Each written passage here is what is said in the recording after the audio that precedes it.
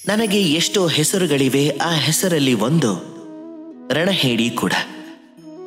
ಇದು ನಿಮಗೆಲ್ಲ ಗೊತ್ತೇ ಇದೆ. ಅಣ್ಣನು ನನಗೆ ಹೇಳ್ದ, ಅದು ಹೇಗೆ ನೀನು ರಣಭೂಮಿಗೆ ಬೆನ್ನು ತೋರಿಸಿ ಓಡ್ ಹೋಗೋಕ್ಕಾಗತ್ತೆ ಕೃಷ್ಣ ಅಂತ.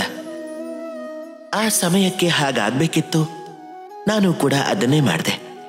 ನಾನೇನಾದ್ರೂ ರಣಭೂಮಿನ ಬಿಟ್ಟು ಹೋಗದೆ ಇದ್ದಿದ್ರೆ ಲೆಕ್ಕವಿಲ್ಲದಷ್ಟು ಸೈನಿಕರು ತಮ್ಮ ಪ್ರಾಣವನ್ನ ಕಳ್ಕೋತಿದ್ರು. ಲೆಕ್ಕವಿಲ್ಲದಷ್ಟು ಕುಟುಂಬಗಳು ತಮ್ಮ ಭರವಸೆನ ಕಳ್ಕೋತಿದ್ರು. ಲೆಕ್ಕವಿಲ್ಲದಷ್ಟು ಜೀವಗಳು ಈ ಪ್ರಪಂಚವನ್ನ ಬಿಟ್ಟು ಹೋಗ್ತಿತ್ತು. ಅದಕ್ಕೆ ಕೆಲವು ಸಲ ರಣಹೇಡಿ ಆಗೋದೇ ಒಳ್ಳೆಯದು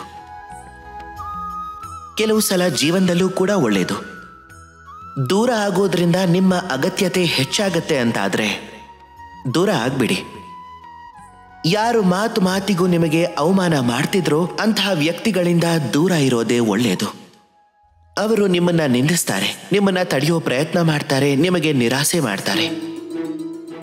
ಯಾಕೆ ಅಂದ್ರೆ ಅಂಥವ್ರ ಜೊತೆಗಿದ್ದು, ನಿಮ್ಮ ಮೌಲ್ಯ ಗೊತ್ತಿಲ್ಲದವರ ಜೊತೆಗಿದ್ದು, ನಿಮ್ಮ ಬೆಲೆ ಗೊತ್ತಿಲ್ಲದವರ ಜೊತೆಗಿದ್ದು, ನೀವು ನಿಮ್ಮ ಸ್ವಾಭಿಮಾನ, ನಿಮ್ಮ ಆತ್ಮವಿಶ್ವಾಸ, ನಿಮ್ಮ ವ್ಯಕ್ತಿತ್ವವನ್ನ ಕುಗ್ಗಿಸ್ಕೊಳ್ತೀರ. ಯಾವುದನ್ನ ಎದುರಿಸಿ ಯಾವ ಪರಿಣಾಮನೂ ಸಿಗೋದಿಲ್ವೋ ಆ ಎಲ್ಲ ಹೋರಾಟಗಳಿಂದ, ಆ ಎಲ್ಲ ಪರಿಸ್ಥಿತಿಗಳಿಂದ ನೀವು ದೂರ ಇದ್ಬಿಡಿ.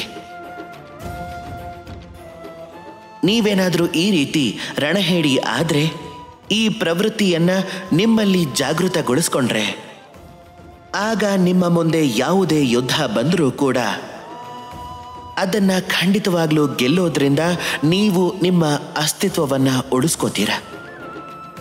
ಅದೇ ಎಲ್ಲಕ್ಕಿಂತ ದೊಡ್ಡ ಗೆಲುವು. ಬನ್ನಿ ನನ್ನ ಜೊತೆ ಪ್ರೀತಿಯಿಂದ ಹೇಳಿ. ರಾಧೆ ರಾಧೆ.